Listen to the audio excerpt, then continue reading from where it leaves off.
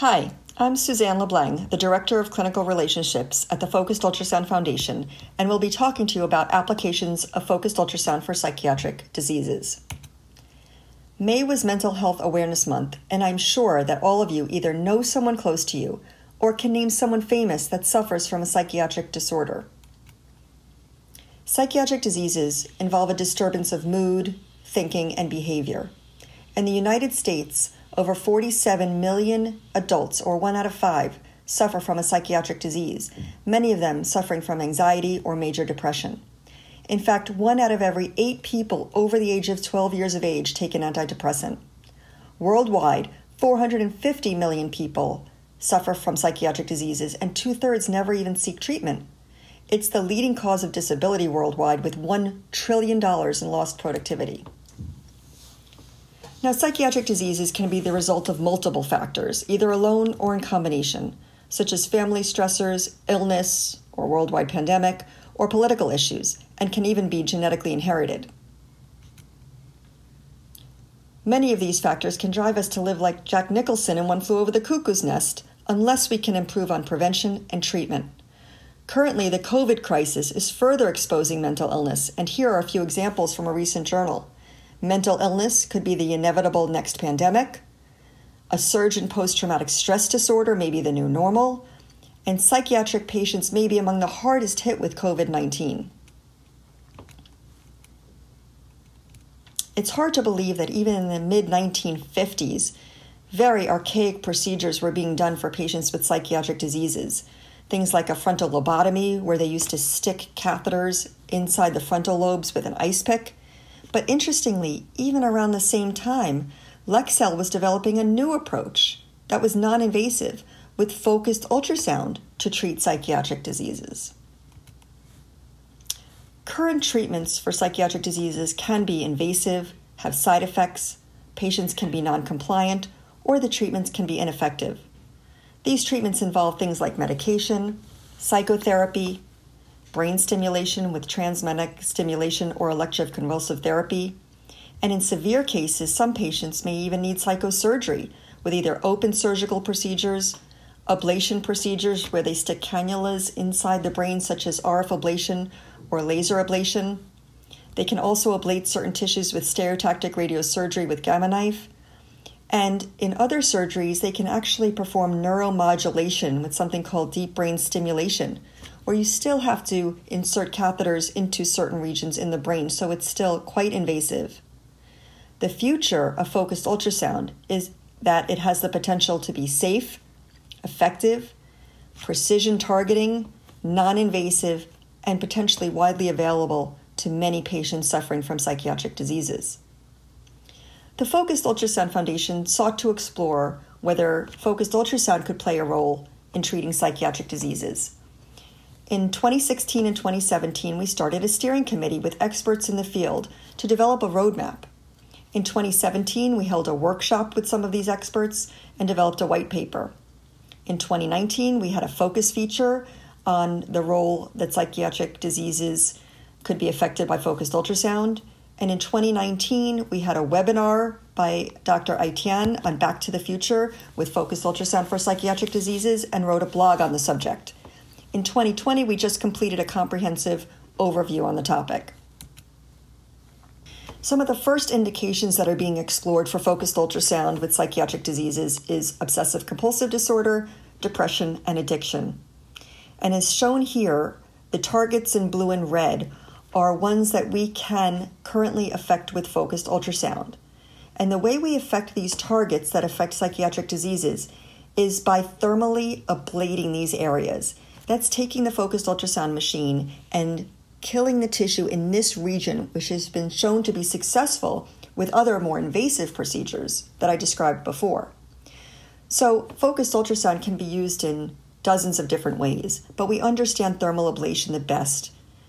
Other mechanisms of action of focused ultrasound that are being explored for psychiatric diseases include neuromodulation, where instead of killing the nerve tissue, we can actually make tissues that are not functioning enough function more, or take nerves that are functioning too much and kind of slow them down a little bit. We can also potentially affect psychiatric diseases by opening the blood brain barrier and letting medications into the brain. I'd like you to think of psychiatric diseases as more of a circuit and not just a small target. So, although we can thermally ablate targets deep in the brain, as shown here in the colors like yellow and green and purple, we also want to make sure that we affect the whole circuit where the deep brain structures connect to more superficial structures because it's really this circuit that's not functioning well in these patients with psychiatric diseases. So let's start with obsessive compulsive disorder. It manifests by obsessions, which are recurrent and persistent thoughts, and compulsions, which are repetitive physical behaviors. One third of patients suffering from OCD are treatment resistant, and risk factors include family history, early stress life events, and if you're unmarried. There was one young man that suffered with terrible symptoms of OCD since seventh grade. His homework papers were never perfect. He had to throw each one out if it had a little mark on it or a small crimp in it and it really caused him excessive time in completing any task. He ultimately had to withdraw from college, where he was actually studying math and physics because these obsession, obsessions and compulsions were overwhelming. Over the course of his short life, he had over 30 medications and various procedures that were ineffective.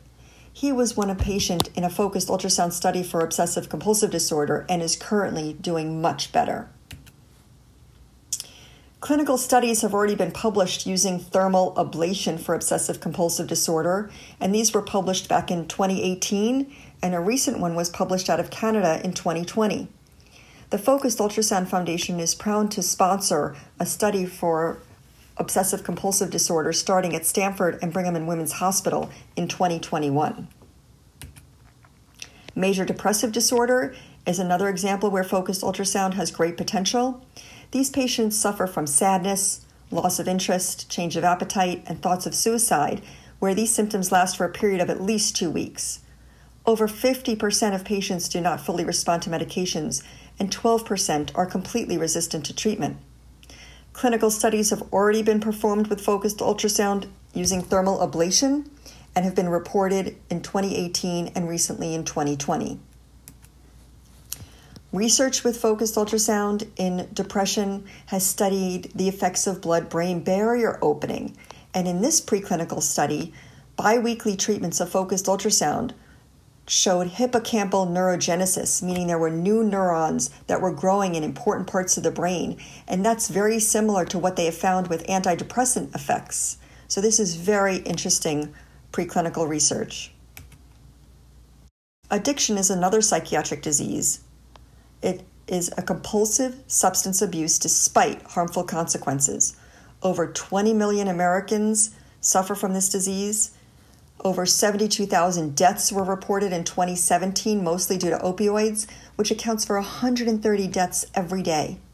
Now, only 19% of patients suffering from addiction receive treatment, and 40 to 60% of these patients can relapse. It costs $740 billion in lost productivity and treatment costs. Clinical studies have just started using neuromodulation to treat addiction. Remember, that's where we take neurons that aren't functioning enough and have them function more, or have neurons that are functioning too much and kind of slow them down a little bit. And this study is going on right now at West Virginia University or the Rockefeller Institute. Preclinical studies have showed that this neuromodulation for addiction has been successful and it's able to prevent addiction type behavior compared to a sham group. And as shown in this picture, neuromodulation is used in this area of the brain called the nucleus accumbens. It's deep in the brain. Other preclinical studies involving neuromodulation to a similar part of the brain possibly can be used for treating diseases like anorexia as was shown in this study out of Stanford, where the nucleus accumbens has been linked to decision making, and perhaps better decision making will help patients with anorexia decide whether they should eat or not eat. So, decision making is very important and it involves this part of the brain called the nucleus accumbens. And finally, we are going back to this concept that psychiatric diseases is a disorder of circuits. And this very interesting preclinical study out of Stanford showed the results on the right on this screen. They took an anesthetic and put it inside a nanoparticle and showed that they can cause specific temporal and spatial release of a drug into an area, which then causes secondary effects in areas connected along the circuit and thus map the functional connectivity of these disorders of brain circuits. In this slide, I'd like to summarize the advantages that focused ultrasound can have compared to other treatment modalities for psychiatric diseases. On the top part, it shows how focused ultrasound compares in doing thermal ablation or killing a part of the brain tissue compared to other ablation techniques. It's not invasive compared to the other ones, and it has a much finer spatial resolution of 1 millimeter versus 1 to 5 millimeters, and it's been shown to be equally effective to date. In terms of neuromodulation, focused ultrasound also has advantages compared to other invasive and non invasive technologies. It does have that fine spatial resolution that we talked about, and again, it is non invasive. So we can see how focused ultrasound can really fit into the armamentarium of therapeutic strategies for patients with psychiatric disorders. So, in conclusion, focused ultrasound can bridge a much needed gap between risks of invasive surgeries and lack of effectiveness of current medications. It's non invasive, it has precision targeting, and it could prove to have a lower cost and bring more patients into possible treatment. Thank you very much for your attention.